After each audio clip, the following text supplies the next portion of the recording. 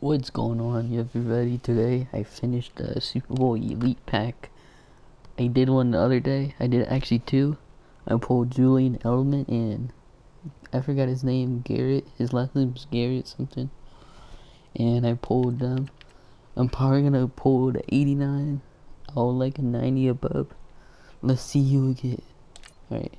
Let's see. Come on. Give me something good to make my coins back. It's Gary, Grady Garrett, Jerry. Meant okay, that's not that bad. I mean, I have two of them, but that at least got some of my coins back. How much does he go for? Like 90k, 70k. We got a a 91. What's what I wanted? 83, 70, yeah, 78. I put him up for it. 77. So I basically got my coins back.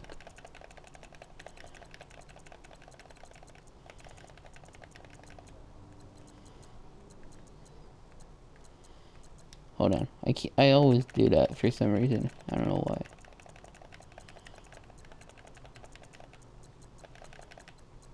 Seventy-seven. Wait, hold on. How much did... 70... Did I say 76? Oh, 78. Okay. So let's put him 75, actually. Make sell quicker. I almost put him up 500. Oh my god. My, eh, my thumb almost pressed X. There we go. So 70, 80, 90, 100, 105. Trying to add 25. Sure, I sure, I should have my coin back according to talk right there. Uh, let's see, I missed, uh, 4,000, put him up for 4,000. I really like those packs, but you have to spend a lot of coins. I would say at least 30k. At least. I was hoping for Julian Edelman.